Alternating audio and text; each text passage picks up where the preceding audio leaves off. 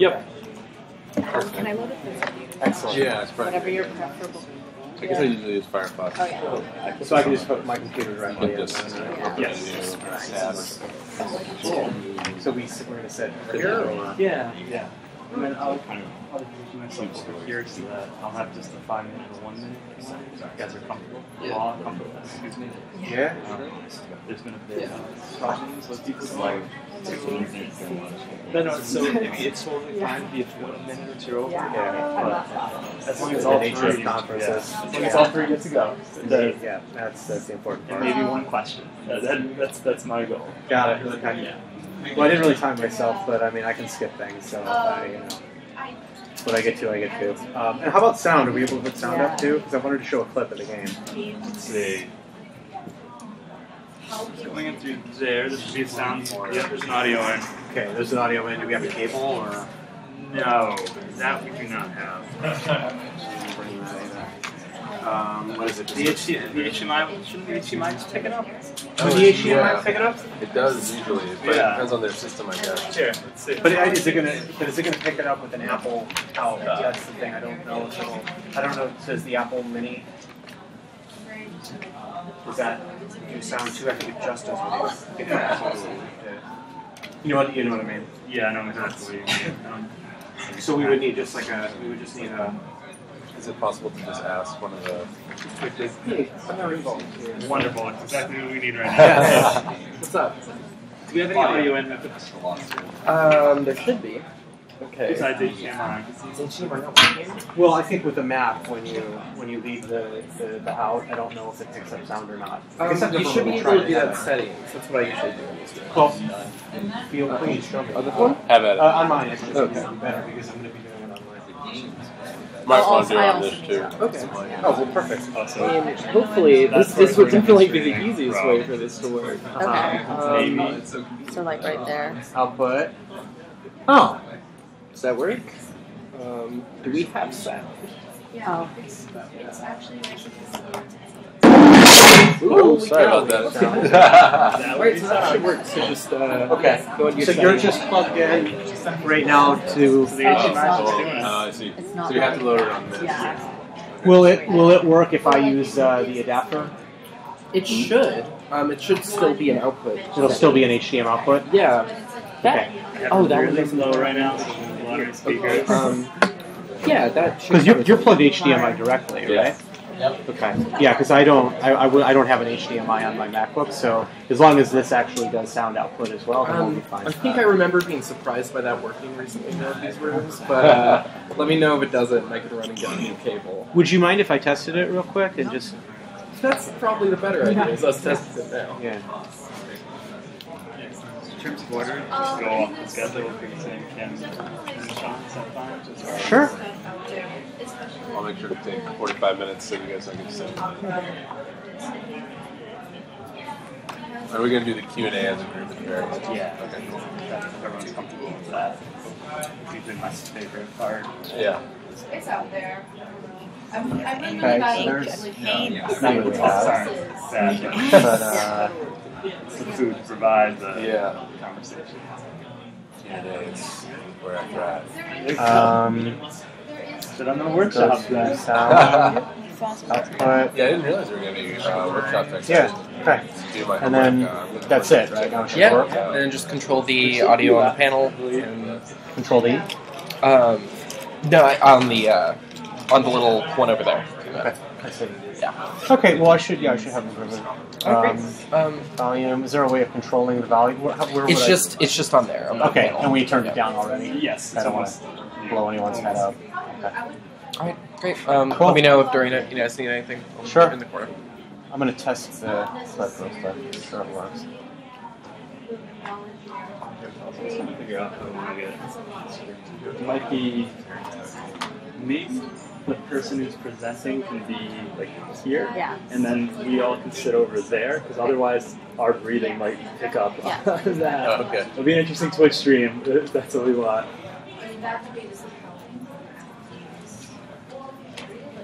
Hmm. No sound. Oh no, hold on. It's uh. Yeah, no sound. Is that not working? Doesn't sound like it. Doesn't.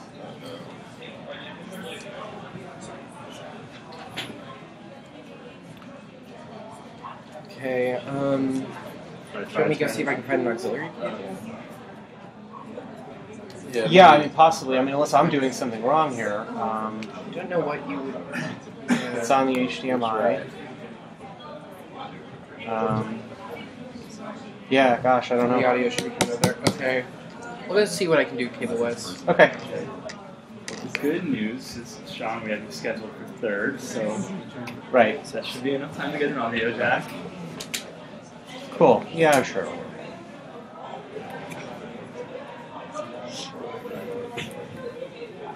You might have an audio out, just the voted audio out. It's just like a headphone jack out, and there's a jack over there for that. So if I just yeah.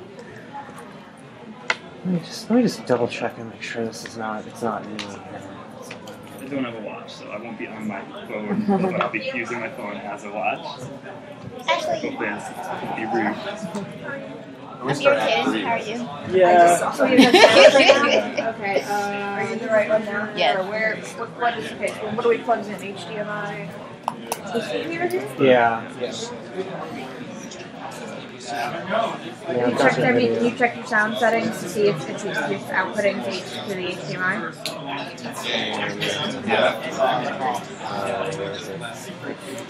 You seem to have some. Wait, hold on. Now I hear something. I hear something. Maybe maybe we turned it too low. Why wouldn't let me? Oh, Yeah. All right. Ta-da! bingo. Save the day. Enjoy. All right. It's okay. So now let me just double check with the, the video clip and the presentation. I get the prices right to work, but now let's see if I can get my presentation. Or I can just present on the prices right. Um, all right. Video.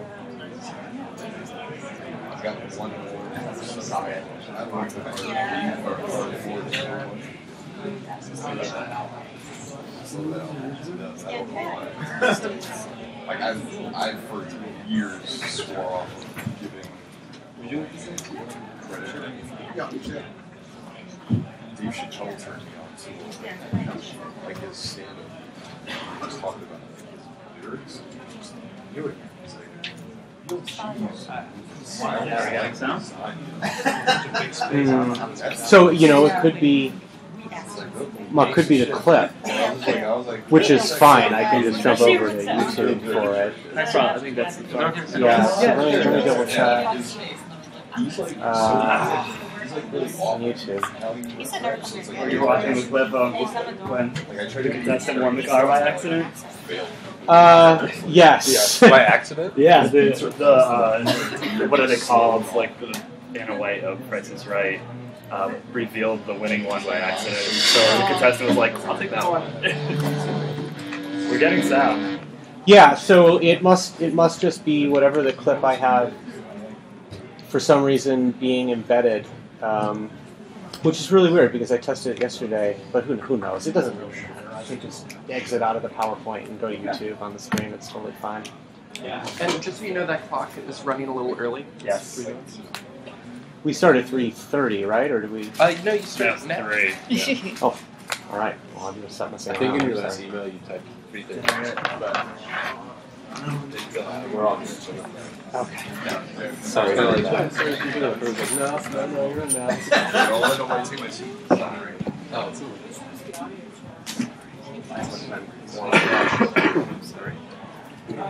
Um, You might want to sit if you don't want to be like yeah. breathing on Twitch. Yeah, it's up. Thank you everyone for coming. Uh, we've got a great panel today. I'm very excited about this, watching it come to fruition. I'd probably say my name. My name is Brian McKernan. Uh, I'm a co-organizer at Different Games. I'm also a postdoc up at SUNY Albany. Uh, but it's not about me right now. Uh, it's about these three amazing panelists. So first, we have uh, Grayson Earle, who's a new media artist based in Brooklyn. Uh, Grayson's work is, uh, uses video games to explore different forms of cultural critique. Uh, Grayson's also a member of the Illuminator Art Collective, and Grayson teaches at Hunter College and Baruch College. Uh, today, Grace will be talking about how video games can help formulate powerful cultural critiques, uh, and by staging the player, as I love this part, as an agent of subversive activity. Thanks. How y'all doing? Cool. Good to see you. Um, uh, so first, I want to talk about this art collective that I'm involved in, and one of our new members is actually sitting here, Todd Anderson. um, and uh, basically, what we do is uh, we we were born out of the context of Occupy Wall Street. We own collectively this cargo van here that we've retrofitted to house a uh, projector, a very powerful projector, um, 12,000 lumens. And we stage political interventions in and around New York City. We've been to the West Coast, all around the Northeast as well, and then Quebec, which is where this photo was taken.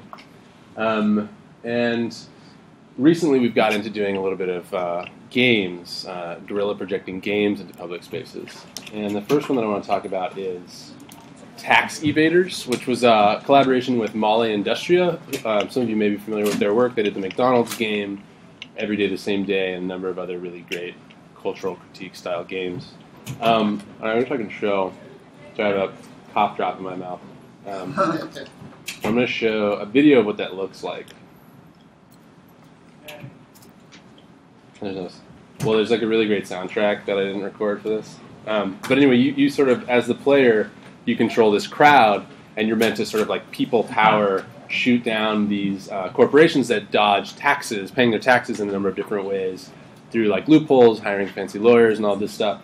And the result of that is, of course, like essentially uh, indirectly enforcing austerity on um, nations around the around the globe. And here you can see when you destroy Wells Fargo, Citibank, or General Electric, the money gets dumped back into these public institutions. Um, and um, it's available online at taxevaders.net. And I should also mention Gan Golan uh, organized this whole project between the Illuminator and Molleindustria. Um, and at the end, you sort of like defeat this big alien. It's really, really fun game. And so what we did was made this uh, playable in public space um, and projected it onto some of these places that were implicated in what we were talking about, like Citibank, um, Chase Bank, and um, uh, I thought I had a good. Uh, well, anyway, it's yeah, it's playable via Wii controller. Um, and then we did a collaboration with the NYCLU, the New York Civil Liberties Union, when they were doing a campaign to sort of fix public defense. Because the problem there is that um, public defenders are totally overworked, and because of that, you, uh, you you aren't entitled to the same sort of um, you know legal defense that you would be if you had money to hire a private attorney, right? And so there's this major imbalance in the way that people uh, are treated in our legal system. Um, and that campaign was actually successful, um, which was really nice to be a part of. Um, and this is a, a, video of what, what it looked like. And we projected this um, in Albany, but I'll talk about that in a second. Um, so with the Wii controller, you sort of spin this wheel like you would a normal wheel, and then it lands on one of these slices, and it's uh, a real story about a New Yorker. So this one is uh, you're accused of stealing twenty dollars your lawyer doesn't show up to court, so you, your bail is set at $2,500. You can't afford it, so you're stuck in jail for months over $20. Uh, and this was a true story about a, New Yorker. Um, and all of these uh, slices have such a story. Um, and we projected this onto the architecture of Albany. This is like the infamous uh, egg dome. I don't know if anyone knows this. I was totally unfamiliar. Um, Alien landscape. yeah, totally weird. We later projected Cuomo we have egg expectations for justice is a nice pun we worked with too. But um, yeah, so we, we projected this around Albany and invited people to play it, and a number of those people were like uh, government workers. Um, so it's interesting to like directly confront them with this thing. Um, what I got up here next? And uh, actually, before I go to that, um, and then uh, some of my own work um, uh, has been centered around a lot of the stuff that's been going on with the NSA. And this stuff doesn't take place in public space per se, but on the internet, which is like its own sort of site of contestation, right? Um, so after um, Edward Snowden's revelations sort of came out, there was all this stuff about, um, you know, the government was tracking our online movements. And so I did some research on this and found that there had been a Freedom of Information Act request that gleaned a list of 750 words and phrases that are used to track uh, our searches, our social media conversations, and all this stuff, um, used to police us essentially. And so I thought that that would be an interesting uh, creative context for one, but also I was trying to think about how we might directly uh, sort of jam or throw a monkey wrench uh, into this system. And so I came up with the NSA haiku generator, and what it does is it takes that list and generates haiku out of those words, um, and they're like totally random. So a lot of the times there's it's like very nonsensical, but um, some this one's not bad. Blowpipe, Goodwin Cloud, Glock, authorities, niche clone, hate Homeland Defense. We do hate Homeland Defense. Um, evaluation, crypto, anarchy, breach plot, cartel, nuclear. And so you're meant to then uh, share these things, and you can see there's like, you can email it to a friend, you can Facebook it, you can tweet it, you can tweet it at Barack Obama. which is- Uh, so let's actually, we're going to go ahead and do that. Um, Yeah. and uh, and so what happened was it eventually got like a little bit of a it had its its sort of 15 minutes and there were you know thousands of people sharing these haiku back and forth over the internet and so it served to oversaturate the internet with these sensitive terms and um, therefore sort of make the surveillance apparatus a little less useful for them um, and so this one isn't strictly a game uh, but it did uh, sort of lead into this next thing that I'll show you. And I, I, my hope is that we can play this together. Um, how am I doing on time? Good? Great. Okay, cool. Um, so this game is it's nsagame.net. The other one was nsahaiku.net. Uh, it's called terrorist threat or harmless phrase. So using the same list of words, um, I should like. There we go. Yeah. Um, I made this game where, as you can see, there's two words on the screen. So one of these words is on the NSA's watch list, and one of them is not. So the goal of this game is to guess which one is not on that list. Um, so I'm just gonna like just take like you know very I'm gonna measure by volume what you guys think. So Minesweeper or Hurricane, which one's not on the list? Minesweeper. Minesweeper. Okay. Uh, physics or Coast Guard? Physics. Terror, tuberculosis, or Native American? Terror tuberculosis. Okay, so that one actually is on the list. so now you can see that there's like this, Threat this level. health bar. kind of um, disaster management or Tea Party? Tea, Tea Party. Um, storm or Prism? Storm. Prism. Well, I don't know which one. Storm. I don't know. Oh, damn. Oh. I want you guys to lose. Uh, Hezbollah or molecular biology? what do you think? Okay. Damn it. Uh, Mount Rushmore or Aid? Aid. They don't provide it. Oh. Uh, quarantine or Deep South? Oh, shit. Shadow boxing or Mexico? Mexico. Ooh. Resistant or gunpowder? Resistance. Ooh. Shootout? Yeah, I know, right? Shootout or missing nukes? Social Nigerian media. Prince. Nigerian Prince. They never lose them, that's why. Uh, Secret Service or Banksy? Secret Service. Ooh, Oh. So we lost, and so what it does is it runs a Google search for the words that tricked you, implicating you in the system, and you become like one of the surveilled. And the number one result is the list of words. Yeah, right. Um, and uh, if you if you if you win, which uh, I guess well I won't go through that again, but if you win and you go ten rounds, we were on the last round together. We almost made it. Um, then you get to add your own word, and it gets entered into this sort of learning algorithm where uh, the words that trick you more often, like become more visible at, or present at higher levels of play, so the game becomes more difficult as more people use it and all this stuff. Um, and then finally, uh, I'm also interested in using games to engage in critique of the fine arts world, which I find really interesting, um, especially the sort of economics of that world. And so, let me get this back up. Um, I'm not sure how many uh, people are familiar with Ai Weiwei. He's a Chinese artist, and um, this is one of his most famous works, uh, where it's a triptych um, of him dropping a Han Dynasty urn, like a thousand-year-old Chinese urn, and it's supposed to be a dialogue about the the role of destruction in art and culture. Um, and he's doing this, of course, like as a very subversive, sort of known subversive, creative person within uh, uh, China. And so, uh, fast forward to very recently, and his work was at the uh, Museum of Modern Art, or some museum in, in Miami.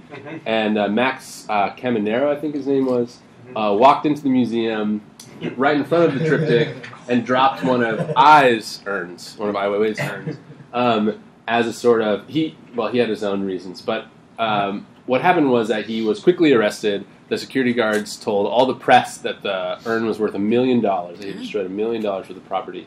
And then Ai Weiwei and his team came out and said that this guy had, thank you, had no right to do this because he didn't own that vase. It wasn't his to break.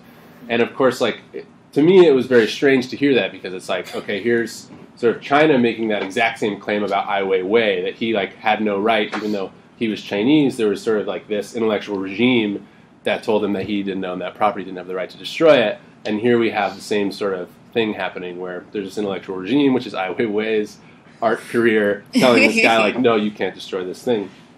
Um, and then there's also the valuation of that thing, which I found really interesting. So I created a, an online game called Ai Wei Whoops, and you, you get to drop uh, as many Ai Weiwei urns as you want, um, and uh, basically rack up uh, property damage, and then you can like um, sorry, a little bit of lag. You can uh, send out your score online and all this stuff, and um, sort of engage in uh, a debate about the, the value of fine art and the um, the role of destruction, and how that becomes a little bit more uh, complicated and interesting when you think about it in terms of digital reproduction and how easy it is to smash sort of infinite urns online. And um, I would love to hear I's uh, response to this, but uh, I've tweeted at him several times and haven't Doesn't care. Um, but uh, that's all I got. So thank you very much for listening.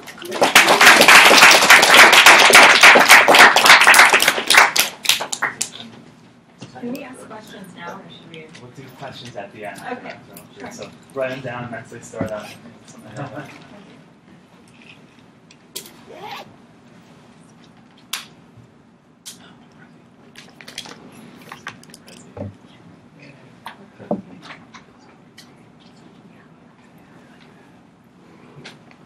Great. So next we have Kimberley McLeod. Uh, Kimberley is a PhD candidate in theater and performance studies at York University.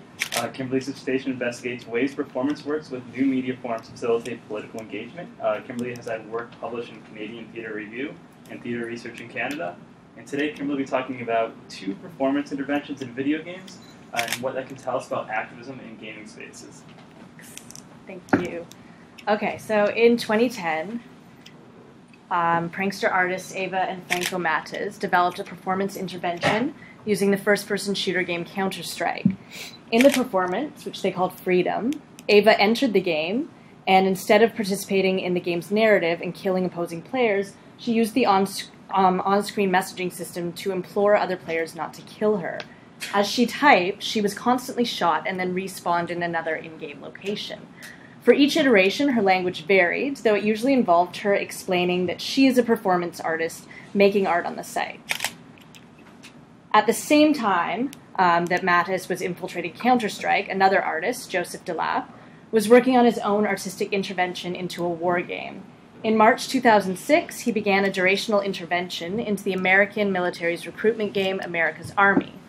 Um, according to the game's opening tagline, the player's objective is to, quote, empower yourself, defend freedom. Um, in what DeLappe describes as a game based performative intervention, he turned the tables on what empowerment might mean and refused to engage in combat. Instead, he used the game's texting system and over several years typed the name, age, service branch, and date of death of every American military member killed in the conflict in Iraq. So, while the content of Mattes's and DeLappe's texts differ, their interventions align through their refusal to engage in combat. In straying from the normative path, the artists disrupt the gameplay, leading to re- reactions from other players, ranging from frustration to aggressive to aggression to empathy. So today I want to address how Dead in Iraq and Freedom break with the enacted routine of these spaces and challenge players to think through what their violent virtual actions might mean. The performances infuse difference into game spaces that celebrate a militarized, violent form of masculinity. At the same time, these ruptures are limited by the centrality of the single artists, as well as aspects of each of the artist's scores. Um, as they situate the actions of the players at the core of their work, Freedom and Dead in Iraq relate to ongoing debates about art's social turn, So Nicolas Bourriaud's concept of relational art provides a starting point for considering how social performances engage participants. Bourriaud argues that relational art allows for connections beyond an art object through a facilitation of interhuman relations.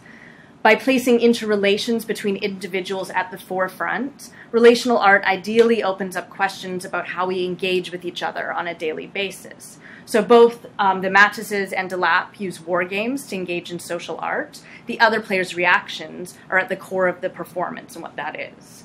Um, while a few players are interested in what the artists have to say, most really get frustrated with the artists, um, and many of their own teammates and the other people kill them constantly.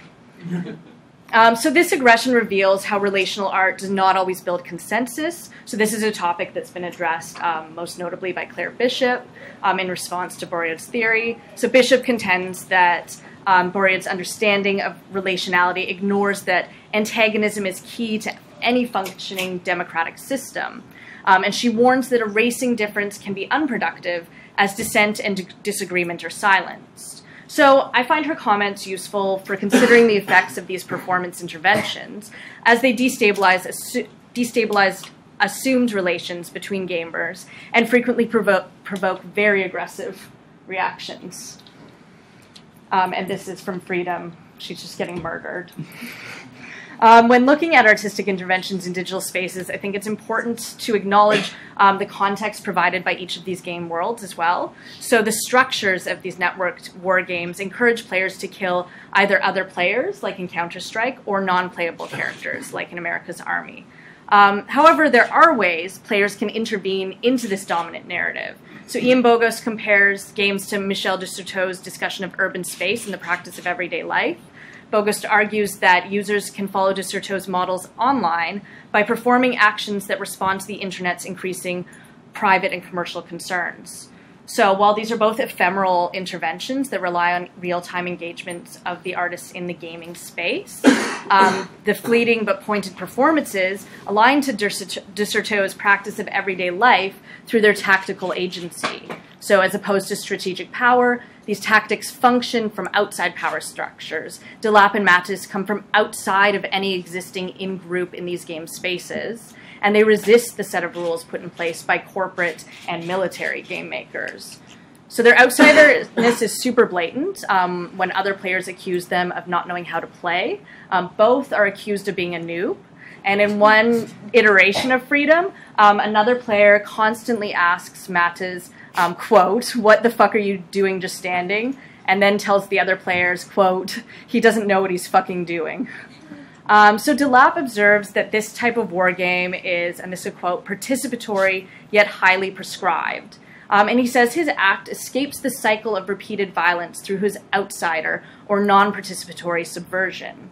So the same could be said of Freedom, um, because in her performance she stops moving and enc- encourages other players to not participate by not shooting her.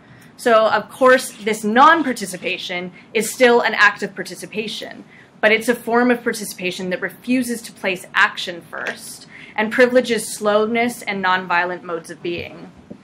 Um, DeLappe and Mattes may not be participating in aggressive actions, but they participate just by being in the space um, and offering a different perspective, even if it's just for a moment they're killed.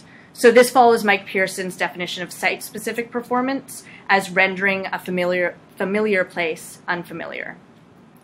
So player reactions um, reveal the effectiveness of this rupturing of the space. So in particular, they're both told that they don't belong all the time. So this statement reveals the space has been altered in a way that makes people who regularly use it feel uncomfortable and out of place. So I have an example of this from Freedom.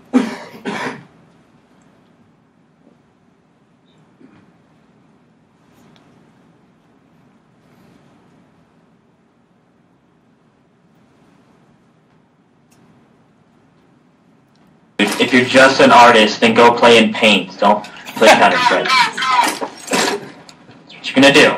Hit escape, and hit disconnect from game. Because you're just an artist. You don't want to be in this game. It's all about killing people. Go have fun in paint.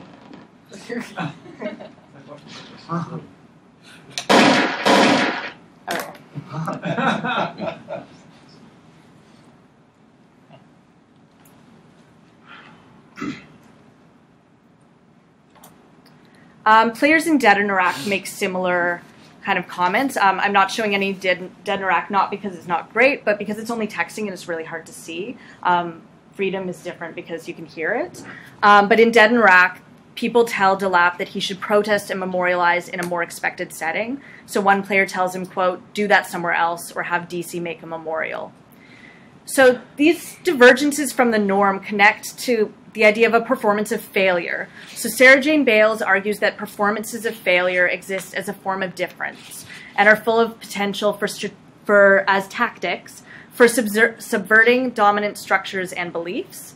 Um, she claims, quote, in its status as a wrongdoing, a failed objective establishes an aperture, an opening onto several and often many other ways of doing that counter the authority of a singular or correct outcome. So in Dead in Iraq and Freedom, this aperture led to me- mixed reactions. Many of the other players attack DeLappe and Mattes for not sticking to the prescribed script. Um, while some of the players get aggressive, as we've seen, the most common responses are actually um, confusion and frustration. They both constantly get asked why they are doing their interventions, which reveals the extent to which their actions throw off the other players and alter the gaming space for them. The artist's failure to act in expected ways also aligns their work with Judith Halberstam's concept of the queer art of failure, which favors passivity over agency, radical negativity over positivity, antisociality over sociality. So, like Bailes, Halberstam situates failure as a means to challenge the drive to be successful in contemporary society. Quote, a way of refusing to acquiesce to dominant logics of power and disciplines and as a form of critique. So she, uh, Halberstam looks at failure's political potential through its queerness as an alternate mode of being in response to normalized structures and routines. While both of their scores are fairly open, DeLappe and Mattes's performances challenge normative behaviors within spaces that celebra- celebrate this militarized, violent form of masculinity.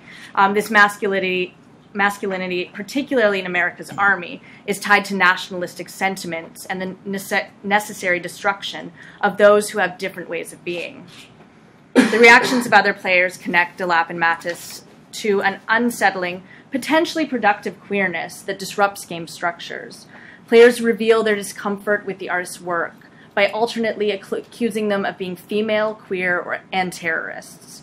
Um, so there are no female avatars, um, as options in either game. Um, so both have male avatars, and they only type. Neither use um, any of the record um, microphone devices. Um, so players can't actually assume anything about their gender based on visual or vocal cues. Um, instead, they actually generally assume that they are male throughout the game, and both are called he constantly. Yet, the players also use derogatory sexist slurs to attack the players for their femininity, femininity and queerness. So players call DeLappe a cunt and a bitch. They also imply that he has sexual desires towards the mostly male names that he writes.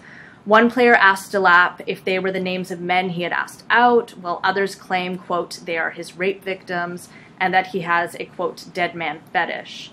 Um, he's also accused of being Achmed, um, which I believe is a reference to the puppet Achmed the Dead Terrorist from the comedian Jeff Dunham's television show.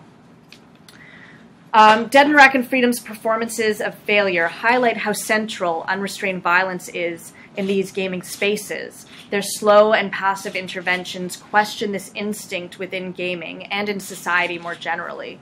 DeLappe sees his intervention as pointing to the real consequences of war, a notion embedded within the game's function as a training tool. Unlike Mattes, DeLappe is blatant about the pointed social critique at the heart of his intervention. As it took place for the duration of the Iraq War, DeLappe's project had a dual pronged aim of memorializing the dead and protesting American involvement in the conflict. In interviews and in his own writing about the project, DeLappe is explicit, explicit about these two goals and calls his actions a, quote, cautionary gesture. By emphasizing the real world cost of the war, DeLappe connects the military back game to on ground fighting. However, his use of actual soldiers' names has led to critiques of the work. Uh, Lee Hutchinson's brother, Ray Joseph Hutchinson, was killed in action on December 7, 2003. Upon reading about DeLappe's project, Hutchinson emailed the artist and requested he not use his brother's name. DeLappe had already typed the name at this point, though. Uh, he did respond to Hutchinson and said that he'd already used it and then shared some of his motivations surrounding the project. Um, and after that, the two actually appeared together on NPR on a radio broadcast to debate whether DeLappe had the right to use these fa- fallen soldiers' names for his anti war protest. Um, Hutchinson very passionately argues that DeLappe's work is too open ended. He believes that his brother would not have approved of his name being used in this decontextualized way. So, this critique of the openness of DeLappe's action, action could actually also apply to freedom. Um, both are super open uh, scores with sort of vague statements. Um, and it's part of what makes them relational. They offer a framework for interaction, but they don't dictate what the other players should or have to do. Um, Hutchinson's description of Dead in Iraq reveals a discomfort with the indeterminate nature of this relational art, particularly when it is conceived in relation to real world events, such as soldiers' deaths. Um, what his opposition to the piece misses, however, is the way in which DeLappe also forecloses certain relations with his score. Both projects are very open ended, yet it doesn't preclude the artist's sociopolitical aims. Um, they both work from a space of oppositionality and position the artist as the center of the intervention through their refusal to answer any other's questions. They don't use the microphone, they don't answer back by typing. Um, DeLappe's oppositional approach sits in the protest half of his memorial slash protest formulation. In interviews, he claims that he considers the success of Dead in Iraq as tied to negative reactions from other players. In particular, DeLappe finds he is most, quote, successful when players get annoyed at him to the point that they vote him out of the game, they kick him out. He claims that at this moment, quote, the narrative of the, ga- the game has been subverted, the intended audience has been reached. By focusing on opposition, DeLappe overlooks the messiness of his own work, in which negative reactions are the norm but not the only type of response. Um, in both of the interventions, a number of players come to the artist's defense, an act that complicates DeLappe's formulation of anger equaling success. The instinct to rebel against the implied rules of the game space is not limited to the artist doing that. Some players jump on board with their projects, which challenges any assumption that wargame players are ho- a homogenous, presumably pro violence, anti intellectual group. Um, in Freedom, one player takes it upon himself to try to understand Mattes's intentions. He implores the other players not to shoot Eva while he asks her questions and tries to protect her. Um, and I have a quick example of this.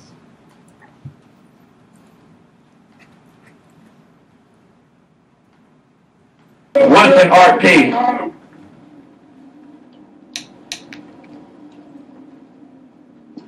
Okay, don't, don't hurt him. One second. One second. One second. Don't kill him. Don't kill him. I need someone. What's your pro? I don't Why get is your it? Why is it seven? And- Since when was it seven knives? Thank you, someone. God damn.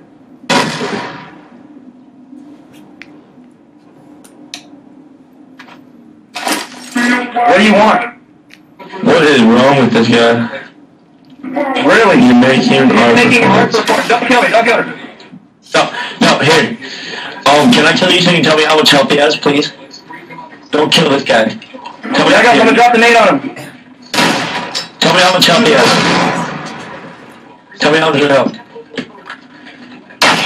Oh my gosh, you ruined it! You both ruined it! I'm out of here, y'all. Kill with the grenade. But Okay. Um, so you could hear him say, "Oh my God, you ruined it," because he was trying to protect um, Mattes. And DeLappe had a similar experience when two players um, protected him in a similar way, and other players came to DeLappe's defense when he was attacked, telling players to quote just leave him alone, and another time saying, "What's wrong with what he's doing?" So the ambiguity of the performances allow for these slippages, which complicate this unified picture of what a typical wargame player is like. So, with a more open score and no clear anti war statements, on the surface, Freedom seems less politically engaged than Dead in Iraq. However, while Eva and Franco state they do, they do not actively seek out social change, their lack of a clearly articulated political goal does not necessarily negate uh, the political potential of their piece. Perception can be upset by what is not or fails to be signified. In social art, this kind of disruption can be unpredictable yet pointed. Uh, in Freedom, an example of such a disruption occurs when Mattes types the question, What are we fighting for? And a voice responds with freedom just before she's shot dead. Uh, through such questions, Mattes asks player to consider, players to consider their choices, to be in the game, to kill other players, rather than just playing the way they always have. She actually states that she and Franco attempt, quote, to make art projects outside of traditional art spaces and for an audience of not typical art goers. So video game players fall under this description a lot of the time, and whether they choose to hear her pleas or not, Mattes's presence disrupts their space and forces them to engage, even if this engagement is a refusal to listen. Um, both interventions, regardless of these political aims, do rely on the work of a solo artist who is at the center of the performance score. Their interjections prompt their audiences to think about the space, but they do not provide a clear and dialogical means of participation. DeLappe's assumptions about the types of players on the American Army site also suggests an uncompromising approach to a space the artist finds problematic. While players have the choice of whether or not to kill these artists, uh, DeLappe and Mattes's refusal to answer their questions or enter into a dialogue directed by the participants closes off some of the work's scope. Yet Dead in Iraq and Freedom deviate from aggressive forms of oppositionality through their embrace of failure, which is marked by a passivity rather than aggression.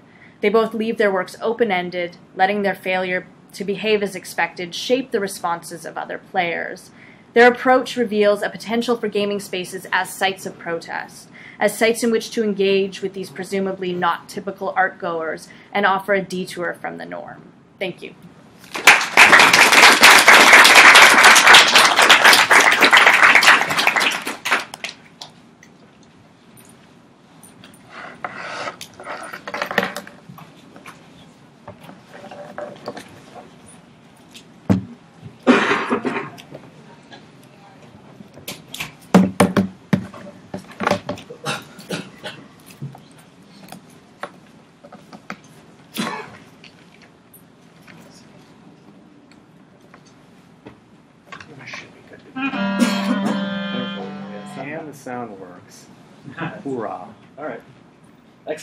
Finally, we have Shawn Clybor. Shawn is a history and cultural studies teacher at Kew-Forest School in Forest Hill, New York. Uh, Shawn received his PhD from Northwestern in 2010, and I forgot to ask what you received your PhD in. Uh, modern European history. Modern European history, excellent. That seems very fitting given today. Uh, Shawn's research focused primarily on the relation between art and politics in the former Czechoslovakia and current Czech Republic. Uh, Shawn is also the project advisor, among many other things, sorry, uh, of Czechoslovakia 3889, the series of serious games of contemporary history that you could actually play out in the arcade. And I'm looking forward to later today. Uh, today, Shawn will be talking about uh, how Czech historical memory is being presented through Czechoslovakia 3889 uh, can, give us insight into how academics and researchers uh, can use digital media and the new affordances of digital media to help teach about complex historical events. Good, thank you. Um, great introduction. Um, so yeah, I'm a little bit different. We each of us, I think, have a little bit different of a background. Mine is more from the history, academic side of things. I'm not a game uh, designer. Um, I'm I've been acting as a project advisor uh, on this game, Czechoslovakia 3889. Um, and uh, I'm going to give you a bit of an overview of the game, uh, maybe show you the clip that's available on YouTube. It is available, as we already said, out outside to play, um, and then uh, spend a little time at the end, uh, hopefully enough time, talking about some of the interesting questions that are raised by this game, uh, and thinking a little bit more about history and academics and um, uh, historical research and scholarship being applied and used in uh, in uh, serious games and, and video gaming. Um, just really quickly, kind of, I just kind of standard disclaimer since I'm here representing the game, that it's developed um, with a variety of uh, partners and funding uh, in the Czech Republic, uh, including Charles University in Prague, um, Department of MatPhys, New Media Department as well, the Academy of Sciences of the Czech Republic, and several of its uh, research institutes. Um, and then finally, the Ministry of Culture of the Czech Republic. So we've been very fortunate uh, to have this backing, without without which this game would have I think never never been possible. so I want to begin with a thought experiment, um, maybe a bit heady and maybe a little bit morose uh, to bring up in a conference in this particular environment, but um, it's the type of thought experiment that I like conducting with uh, my students uh, when, I, when I'm teaching. Um, and two questions that I would ask, and the first one is, uh, what would you risk? And what do I mean by this? I mean that if, if we think about um, uh, war and conflict. Um, and I think um, uh, the game uh, This War of Mine, which was recently released, uh, does a really good job raising these types of questions. Um, in a time of war and conflict, um, uh, for example, World War II, uh, there were a lot of situations that people were placed in in which they had to make choices that were in many ways choiceless. There really was no good choice to make. Uh, so, for example, um, if you killed a German military officer or a member of the Nazi Party in an occupied territory uh, in Europe during World War II, the German military policy officially was to kill 100 civilians for every one German soldier that was killed by a civilian. Okay, um, if you were caught hiding someone who was Jewish, if you were caught, the retaliation was your entire family would be killed, would be murdered. That was the response. So the question then is what would you risk? Would you be willing, as a human, to risk your family, your partner, your friends, to save a stranger? Would you be willing to risk your family to save your best friend? These are the types of questions that people face in life outside of this room uh, in a very real, tangible way. And I think oftentimes it's easy for many of us who are fortunate enough, it's easy for us to forget it. Uh, the second question is who can you trust? Another powerful question. Um, and, and for this question, I, I'm always I was reminded of uh, the Pulitzer Pulitzer Prize uh, winning book Maus by Art Spiegelman, famous graphic novel about World War II and the Holocaust. In the very beginning of the book, um, Vladek Spiegelman, who is a Holocaust survivor, is talking to his son. His son is young, did not grow up in Germany, grew up in the United States, grew up actually in, in Queens, uh, close to where I teach. Um, and the son is upset because his friends are picking on him. And the father, who is a Holocaust res- survivor, responds, Friends, your friends, if you lock them together in a room with no food or water, then you see what it is, friends. Right? And again, this is just wow. That's, first of all, not good parenting, in my opinion. but, um, um, but, uh, but certainly, right, again, the type of question that maybe we don't ask ourselves very often, uh, being the trusting people that we are. Um, and we'll come back to this in a minute. There's a reason why I raise uh, these questions and these issues because they relate in many ways very directly uh, to this game. They're kind of academic questions. They're historical, historically grounded questions that we are trying to apply uh, in in a game, getting people to think about these issues in real and tangible ways, as, as history should. Um, so, just a brief, very very brief overview.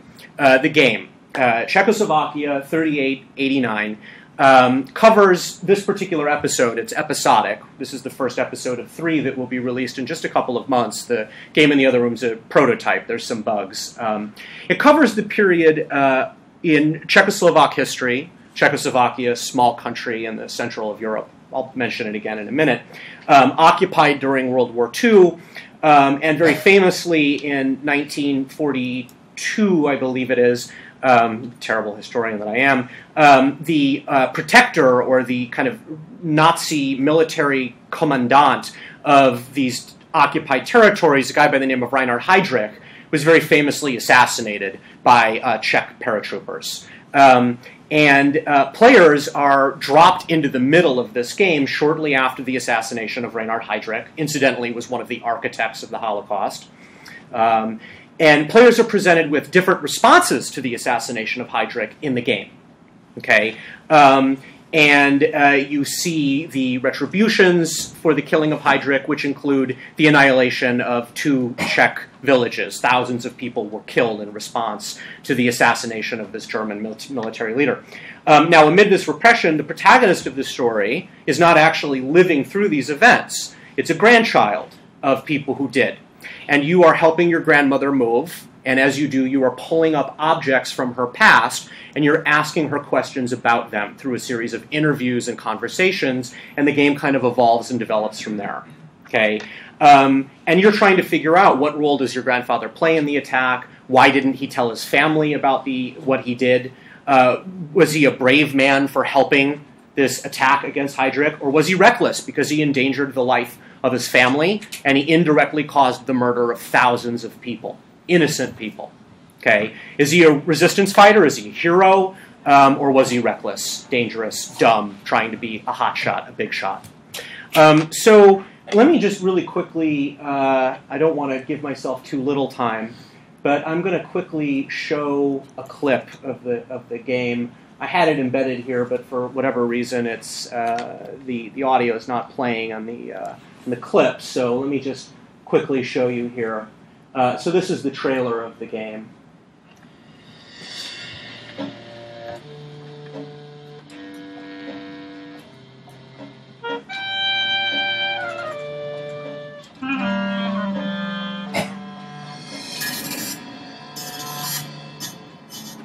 To byla strašná doba tenkrát. Dnes, 27. května, asi v 10 hodin 30 minut byl spáchán atentát na zastupujícího říšského protektora a generála policie SS Obergruppenführera Reinharda Heinricha.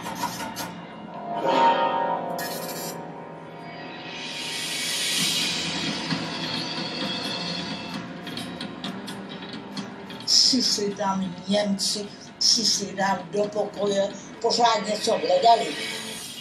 Pak dědu odvedli a já jsem si nikdy nemyslel, že ho uvidím až po válce. Proč vašeho dědu zatkli, to jsme se vlastně nikdy nedopátrali.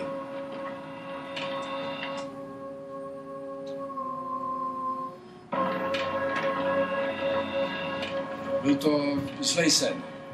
Takže se ani nedivím tvýmu dědečkovi, že o tom nechce mluvit.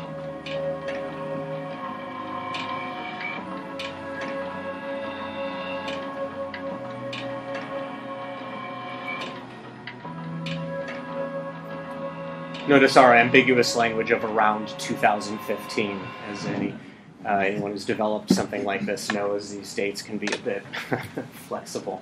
Um, so uh, let me move this forward. It seems to be a little slow. Um, no, that's the clip. That didn't work. And here we go. Good.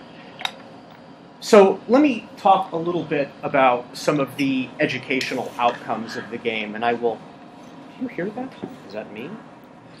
Oh, it is. YouTube YouTube does that now. It sort of carries you forward. Um, okay, uh, so educational outcomes of the game, and I'll, I'll just very quickly talk about this. And this is a little bit more where my involvement as project advisor has come in. Um, first is to present key historical events in 20th century uh, European history through the lens of Czechoslovakia. Uh, some of you might be asking why Czechoslovakia, right? Small state at the heart of Europe, um, in the words of uh, British Prime Minister Neville Chamberlain, about which we know nothing, right? This is not a place that many people know much about. Maybe you know a bit about Prague, fun place to drink, um, etc. Um, but I, I, would argue uh, that Prague and Czechoslovakia, modern day Czech Republic, are actually offer a perfect vantage point for understanding European history. This was a, a territory that was a part of a multinational empire. Um, it had a short lived democracy that was crushed by the Nazis during World War II. And then after World War II, it becomes a communist dictatorship uh, that uh, does not fall until 1989, right? Very uh, some of you, many of you probably know. And today it's struggling with many of the legacies uh, of, of, communism and, and, other issues that European states are struggling with ultranationalism, political corruption, and of course the forces of globalization. So I think this is a, a wonderful kind of case study for larger phenomena. Uh, second is that it enables the audience to experience these events from the perspective of different actors. And this is where I think um, the game is especially interesting. Okay, this is really, in many ways, the key to critical thinking, particularly in learning and in education. Um, forcing your audience to confront viewpoints that are different than their own. Okay, um, and how we confront and integrate these conflicting viewpoints is really a key to what education is about. It's not about memorizing facts and kind of spitting back. It's about you integrating these conflicting uh, viewpoints and opinions. Um, uh, and so it allows us then this kind of deeper, multifaceted understanding of historical events. And that's what we really try to get at in the game. And I'll, I'll come back to that at the end. Um, next is to create an active learning experience. Any pedagogue would know that this is extremely important, that students and us, we are not passive learners. We're not sponges. You don't just sit there, empty vessels, and I fill you with information and you walk out right? Um, active learning is about you structure an environments in which students then take knowledge of their own free will and put it together. So you structure an environment in which people sort of integrate things, organize things, and then present it as their own. So the idea of a game in which you, the player, has control, you get to choose who you talk to. You get to choose the types of questions that you ask people that you meet. Um, one of my favorite encounters in the game, there's this guy who was accused of collaborating with the Nazis. And you can begin the conversation by saying, I would really love to ask you some questions about the war. Or you could say, I hear you collaborated with the Gestapo. Is that true? Are you a Nazi? Like something to that effect. And of course, if you take the latter option, the guy will immediately be like, ah, piss off. You know, and he closes his door, and that's the end of it, right? Um, so you actually have this opportunity to kind of um, think about how would you engage a topic like that? How would you address it? How would you, talk about it? Um, so in sum, then, uh, history is open to questions and interpretation, and the goal of this game is to, to get students, and hopefully not just students, um, uh, participating in that. So, um, in the interest of time, uh, I'm going to just I'm going to kind of skip through this. This is more of an overview of the game and how it is. I would just say it is a single player adventure game, very very loosely I would say similar to Telltale's Walking Dead, but I, I would not want to put this game on that on that level. I, I, I, personally, at least the first season of that, I admire deeply as a game. But that's sort of what it is. It has mixed media elements. You see these real time interviews that are video clips. And then there are the kind of, as you saw from the introductory clip, that these kind of animated sequences that are sort of like a game world where you click on different things and you interact with the environment. You have different tasks that you have to accomplish.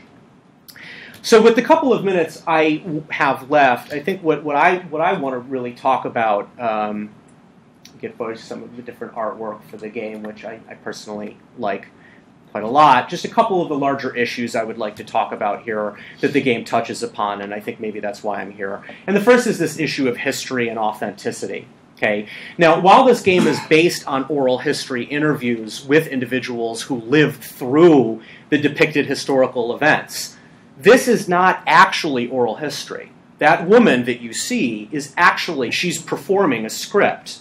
Okay? This is a constructed story with authentic details.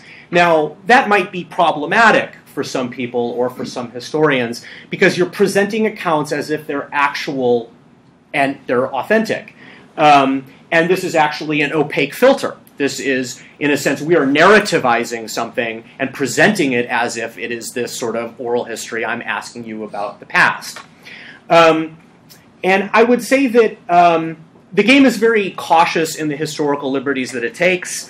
It does not present viewpoints or ideas that have not been articulated in some fashion by people. And again, this is where, in my opinion, having historians or scholars working on a project is very useful.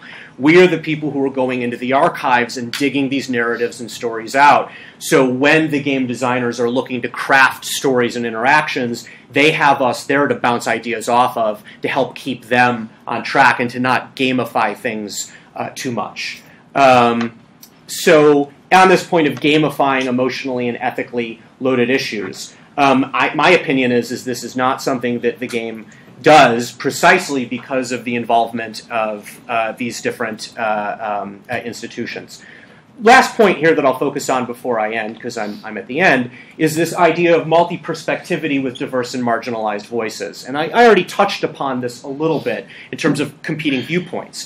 One of my favorite sequences in the game, you get to talk to this guy who collaborated with the Nazis. And in a sensitive way, you ask him why.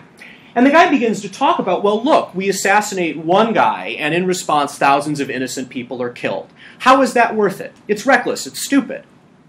That's not the type of viewpoint you would get in a standard history textbook. A standard history, history textbook would say, here are the heroes that resisted the Nazis during World War II and, and did this great act of killing the architect of the Holocaust, right? It was a good thing to kill this guy. But many people in the moment were, thought it was a terrible idea, right? Um, so that's just one example of multiple perspectives. Another, and this is very deeply controversial in the European and Czech in particular context, is that one of the lead characters in this episode of the game is Roma. She is, in other words, a gypsy, I think is the standard parlance, um, perhaps not politically correct in English. Um, and many people might not know, but uh, there were anywhere from a quarter million to more than one million Roma that were killed during the Holocaust as well, and along with Jews, they were targeted as an ethnic group for extermination. Now, there still is a lot of prejudice and racism against Roma today, all over Europe. They are expelled. There were, there were thousands were just recently expelled from France for example. Um, one of the heroes in this game is Roma. She is the person who helps rescue your grandfather from a concentration camp at the end of the war. Her perspective is treated very sensitively. She's also a woman.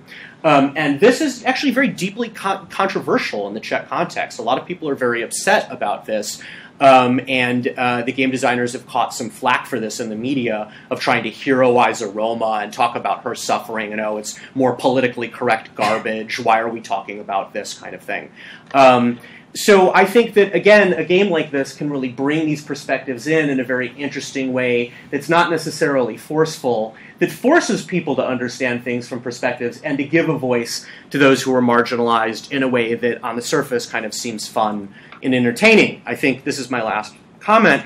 Is that it would remind me, as in the United States, as if there was a game developed that was incorporating black slaves or Native American viewpoints uh, into historical accounts.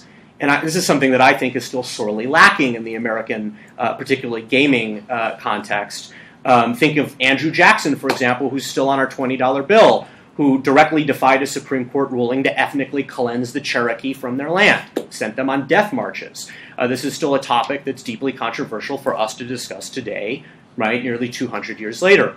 So, my hope would be, in conclusion, uh, is that this game, while a different national context, can maybe help people to think about moving forward how we ourselves, in our particular national context, can think a bit about addressing these issues and legacies through serious gaming.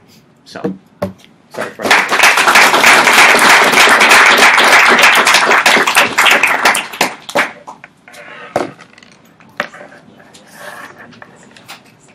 Great, that all three were just wonderful. Thank you all so much. Uh, I mean, I've been thrilled to be a part of this from the beginning and see it all come together, and that's just highlight of the weekend probably for me. So thank you.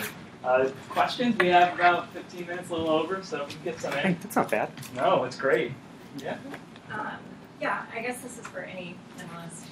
Um, but I, I'd like to know your thoughts on um, art museums picking up video games as fine art objects, um, and whether, or I guess what that means for video games or for pieces that use um, video games activism um, to join this like art industrial complex. Should we collect a few questions first, or Let's just go- respond we'll go- directly? Yeah, we'll respond, but this one is for all three, I would say, so maybe we'll just go uh, closest to me that way. Um, actually, both of these have been streamed to galleries um, and are available online, but it makes a really interest. It, it creates an interesting question around like who are they making this for?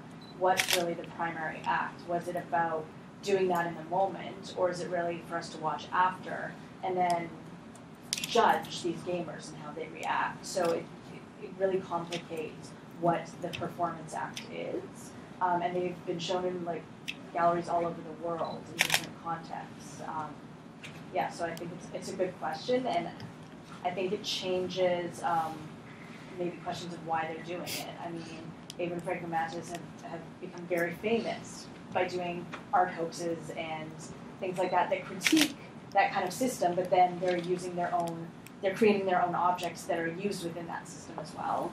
So it's kind of all that. Um, this reminds me of uh, well, just uh, thinking about the Illuminator in our work and how that's not going to be like subsumed by museums necessarily anytime soon. We were just recently arrested for projecting onto the Metropolitan Museum of Art. So I think with, with what we do, like, we kind of like define. We're sort of like intentionally not trying to integrate in that way. And I also like I see uh, a lot of problems with the way that it does get integrated. Like uh, for example, at the at MoMA they had this huge, maybe it's still there, but they had this huge like video game installation. And I went there one day, and literally forty percent of the games were broken; they weren't hmm. working. Mm. And then, like that to me hmm. seemed to speak to this like problem, which is like fine hmm. art is like trying to take ownership of this new like arts practice of game based creativity, when really that's not how it's it's not born from within the fine arts community. It's born from somewhere else, and they're trying to say like, oh no, like this is ours now because like we're the art world. And so like I think there's some conflict there, and I'd like to see like a little bit more push from the other side, maybe. It's also a question of interactivity, isn't it? And I think museums also recognize that that's something that they really need to start developing as a way of drawing people in, right? Yeah. And and these and these these, these sort of interactive media experiences are a way to it. But I think you're absolutely right. I mean, then how they handle it and the whole thing can become so stultified and and formal that yeah, you walk in and half of it doesn't work, right? Um, but yeah, no, I think maybe taking it from that perspective, absolutely, it's something that museums themselves recognize to greater or lesser extents that they need to do. I was involved last year in the Wolfsonian Museum in Miami and organizing an ideas festival um, that was exactly trying to kind of think of ways to do this sort of thing, create more interactive exhibition pieces. Um, so hopefully, it's something that they they figure out. Um, uh, certainly, I don't I, I don't see too much of it myself. Other questions?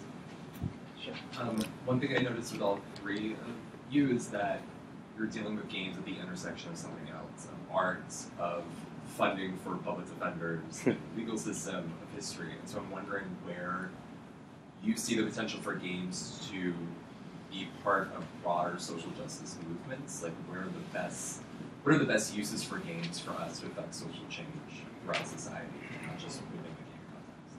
I love this. This is like becoming a workshop where all three of you are now co-presenters. I'm wondering, well, not everyone has to give a question to all three, but I certainly enjoy this. Anyone want to start? Same. Yeah, same same process. Um, sure. Well, I mean, I'm mostly looking at people intervening in games that already exist. Of course, I think making games is sort of the obvious direction um, to discuss. But I think actually going into these spaces that seem so aggressive um, and kind of like mo- monocultures, right? And going in and breaking those and asking questions within them, and really bringing social critique to these platforms that are used by millions and millions of people, and kind of trying to break that a bit and to insert yourself into those spaces. Yeah. Um, I uh, I'm still trying to kind of figure that out myself. Um, I was recently asked at an interview for a faculty position, like, do you really think that like gaming can do anything? Can it like impact the world? I was like, I think so. Like, I sure hope so. Um, I'm really into Ian Bogost's idea of procedural rhetoric. It's something that I've been thinking about recently a lot. It's like the idea that by like like a video game, you know, it's systemic, it's procedural, and that it's like executing code, and so you can kind of like emulate systems, and by like seeing the way a system works in that way, you can mount political or any type of argument within that context, and I think that that is something that I I champion. I'd like to see a little more. of. Yeah. I'm still trying to figure out how I want to respond to this. Um, it's you know, sec- I- you know, I mean, to me, to some degree, a video game is really. Someone could correct me on this if I'm if I'm not I'm not, not right in making this assumption, but I mean, you know, it's, it's a medium, right? And so, I mean, the, the, so I was thinking to myself, well, I mean, it's sort of like asking what potential does a book have to be revolutionary, right? Well, sure, yeah, there's definitely potential. Like, of course, like with perhaps with any medium now, of course, how things are articulated um, the medium itself can shape that, like to some degree, right? The form can shape the content, right?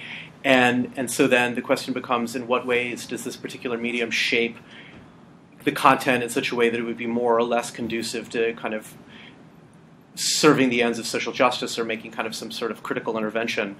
And I think it's precisely going back to my, my earlier point about the about the active learning experience, about the opportunity of, of kind of you. It's not, you know, the revolution could have been televised and it wouldn't have mattered because we just would have sat and watched it, really. Um, whereas a video game is you are still more invested. There's more going on into a video game, like which I think your presentation really illuminates, right? You're acting into it. And other people are acting into it as well. So there's so much more there at stake. So in that regard, I would say there's a great amount of potential. I don't know if that answers your question. I should let other people in. Yeah, maybe we'll let these people listen. So I saw some hands earlier, so we'll go one, two, three. Okay. Um, my question uh, is for uh, you specifically, Kimberley, uh, and my I'm a little bit reticent to ask because I feel I might uh, reveal myself to be an uncultured uh, reactionary troglodyte or something.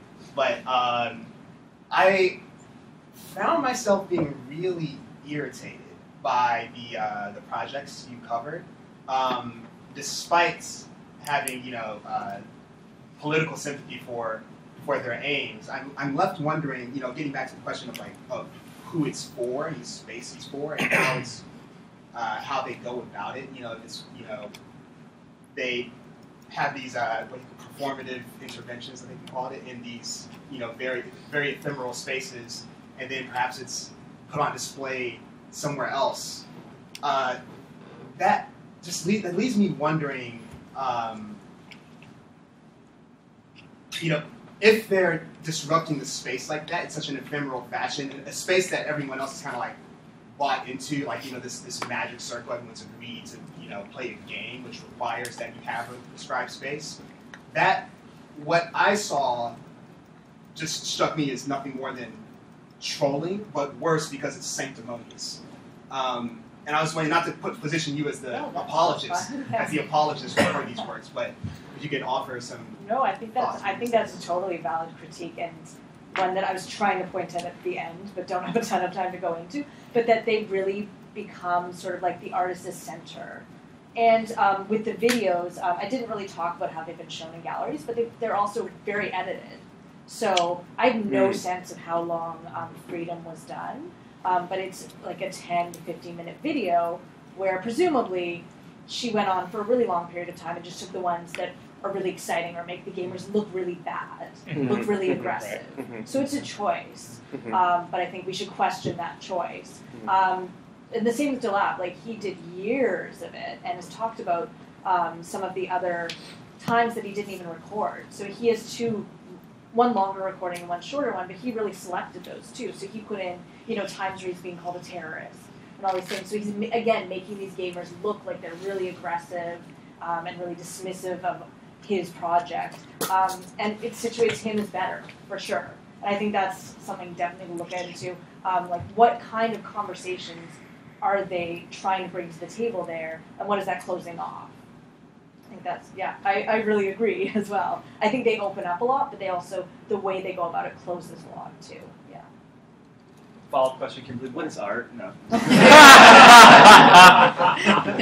I like I had a question in in this similar vein about about, about trolling and subversive action within game ecosystems, and to like to what extent like yeah, like where where does the line come in between like yeah, the definition of like I don't know playing a game the way it's not supposed to be played if you're doing it for for the lulz or if you're doing it for like a, a larger like political aim or just like disrupt the system. I, I don't know. I, mean, I was wondering yeah, if you could speak to something with that continuum because I, I was just thinking like on that like all right, what are the games that I play? How could I play within those systems? Uh, and like play the way I'm not, I'm not supposed to, and get people to think outside of it, and then like think about how that's going to be perceived, and then it's just like, oh, is that just like 12 year old trying to get attention by doing something different? Uh, like, I guess could you speak to like how you can make a like meaningful political or artistic statement uh, inside of a, a game context? I think it's it's going to at the end of the day be really object, objective, like whether you think it's effective. I mean, there's maybe less um, really aggressive oppositional examples. So there's like Velvet Strike, which is an older example Mhm. where people did um, like just tag spray painting, um, anti-war slogans, um, and then they would they would stay in the game.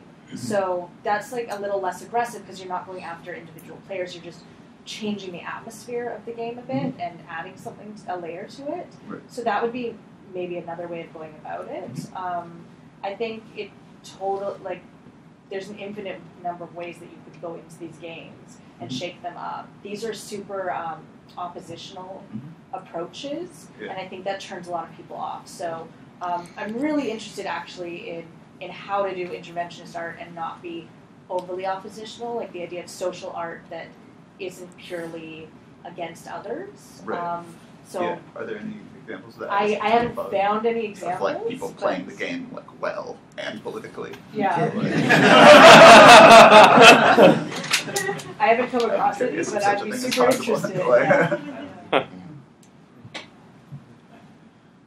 How do you respond to those who may feel that you're misappropriating their experience or their medium? So, for example, if your definition of a game is mindless entertainment, a World War II survivor might find the Czechoslovakia game to be exploitative or trivializing of their experience. You mentioned that you've been arrested for showing your art, and gamers in Counter Strike might find that those artists are getting in the way of how the game is supposed to be played. It's not why they're there.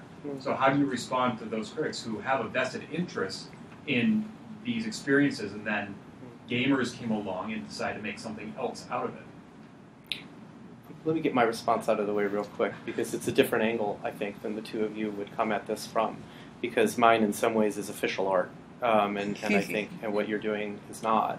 Um, to me, the, the issue with this game is a little bit more, again, back to this question of the medium. And it, you know, the same thing happened in the early to mid 1980s when Art Spiegelman released Maus, and there were a lot of people who felt, well, how on earth could you create a comic book about the Holocaust? Um, but what was surprising about it is how non-offensive actually it ended up being to many people, and how much less controversial it was. And so far, the response that we've seen among people who are survivors, it's been exactly that. Interestingly, um, there's not a sense that it's trivialized, and I think that's more a, a, generational reflection. A game like this probably wouldn't have been made 30 years ago, or if it would have been, it would have just been you storming Normandy, shooting at people. Right? It wouldn't have been games like that were made 30 years ago. But dealing with the serious consequences of war and conflict, the way we see in a game like this, or a game like this, War of Mine, uh, is I think a little bit more recent, and I think it's a product of a growing maturity in understanding what games are and what they can do. So to some degree, I think the ground has already been laid. But um, I guess I bump up against that most as someone that's trying to make a living, like not as an academic and an artist or something, and like applying for money and, and like shows and having it be like, oh, this is a, a gaming uh, exhibition or something, and like you know, I submitted NSA haiku to that at one point. It's this thing in Toronto actually, and they're like, we love this, but it's categorically not a game. And being, like, oh shit, you're right, okay. Um, and then like sort of just trying to decide like which like like spot I should sort of situate myself in, like artist, game maker, whatever.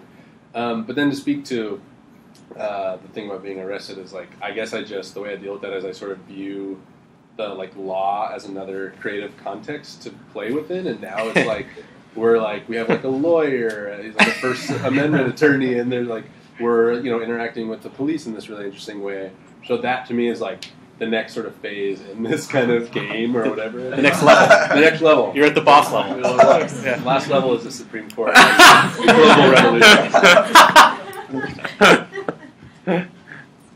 well, I guess I, like they're trying to upset people. It's, it's meant to shake things up and kind of it. It really, I mean, it's online, but it is just like protest in public space, right? So it's meant to shake people up. It's meant to be out of the norm, um, just for a brief moment, though, right? So there is the argument that you know, protest might shut down a street, but it is temporary, um, and then you can go back to whatever. But it's just to shake you up, make you think differently, reroute it a bit. So. Thank you. Riley, it sounds like you were saying art is socially transgressive and potentially legally transgressive as well. it's doubly transgressive. We have time for one, two more questions. One more? Meaning of life. We got both of you. I can follow through. So, I actually am a law student and know the folks at NYCLU that work with like group people, and so that that's where I'm focusing when I say like what is the potential for games because I've done there are like thousands and thousands of pages written on every other medium as it relates to implicit bias and how we can shape legislative debate, but like nothing written on games. Like, I figured this out this week. Like I started learning about this on Sunday and then like came to Mm. this today. So in that context, where like you have a lawyer now, what what are his thoughts? How how can you use this for broader societal impact within the law or within existing community groups like those kind of activist networks? Uh, yeah, I mean that's that's a difficult question. Um, I think for one, it's for for our lawyer, it's about trying to like gradually get the NYPD and its like new commissioner to understand that like you can't just like you know arrest first, ask questions later all the time, and like it's a shame because like when they do make that mistake, they don't they don't have to pay for it. It's like like if you, for example, sue the NYPD, you're not suing the police department, you're suing the state of New York, and so that money just comes from all of us. Um, and so I guess like one of the hopeful outcomes is that we get legislation on the books, like you like you know, and we're we have a precedent that like protects us and other artists from doing uh, from getting arrested for doing this kind of thing. Mm. That also raises a really interesting issue of politics, and uh, especially with the, the game project I'm involved in, because I mean most of the funding is coming from the state, right? Um, and again, that's a very European thing, right? To have these kind of large state, have a ministry. Of, can you imagine the United States have a ministry of culture? Like it's kind of like it's called fair. Sony, right? I mean, um, it's. I mean, so you know, so that in itself is interesting, and that actually becomes a part of going back to this other question earlier about games being, you know, being offensive or kind of like causing this sort of issue. That's where some of this anger about you know Roma and minorities comes in. Is that now it's a question of state funds, public money being used to support a project that is furthering things about quote unquote minorities. And then, right, and then it becomes, right, then it becomes a politicized issue, right? And this is one of the problems with, I've had arguments with my European friends about this all the time, usually more ar- artists, who again receive a lot of money. I mean, nine out of the ten grants they apply to are from state governments or the EU. And I've said time and time again, I mean, doesn't that that puts you in a weird sort of bind. I mean, you're rejecting them, you're resisting them, you're attacking their institutions, yet you're also using their money to do it. And you're discrediting the institution, you're angering the public, you're isolating and alienating yourselves, and you're potentially undermining the ability of these institutions in the future to continue that funding because you're just pissing people off, right? They're just going to want to cut it. They're going to vote for politicians who argue to get rid of it. And I see that as a real problem. Absolutely. Um, but I do side with the people who make other people angry, usually. Let's start. One last quick. It's quick. Great. Yeah. Um, what do you guys think is a, a, a good mainstream video game in the last five years that you guys think is would you guys would consider art or gets close to being art?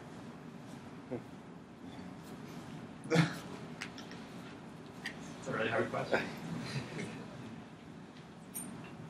Not even The Walking Dead.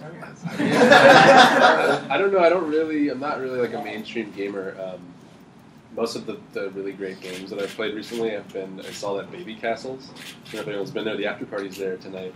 Hmm. Uh, and I think, like, and in these types of spaces, that's kind of more what I'm interested in. Like, really radical, not just politically and socially, but like in terms of like formal aspects. That's my kind of my, my jam these days. So I'd say uh, Hyper Particle Mace and um, Realistic Kissing Simulator. Anyone's played that? Anyone want to venture? I, I don't know if I could venture to say, I mean, because then we're back to that question that you asked jokingly about what is art, right? Um, and That's a joke anymore. Huh? Yeah, and that's, suddenly, suddenly it's not funny to me. Um, and I mean, maybe I'll just say like maybe answer a quest, the question a question you didn't ask, which is typical way to get out of these things is I mean a, game that I would really recommend that I've mentioned a couple times not as art but maybe more as social commentary or kind of thoughtful reflection but is also entertaining and fun and through the process of playing it teaches you something and again that would be this war of mine which I've, I've already mentioned and if you haven't tried it I would I would highly recommend it I would also recommend you know writing a blog or a diary along with it as you go, like as if it's part of your own experience.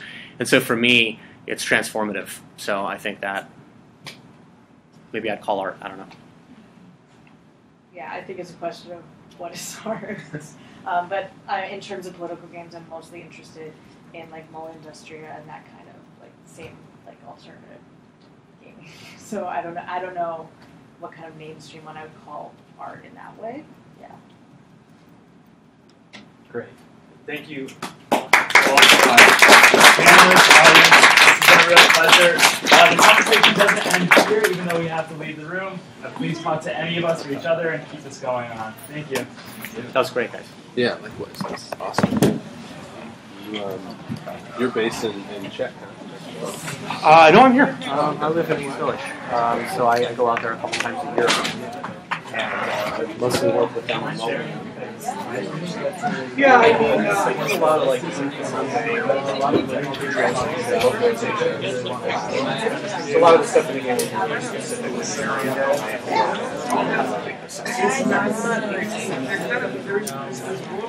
European. How about you? You're, here? Um, yeah.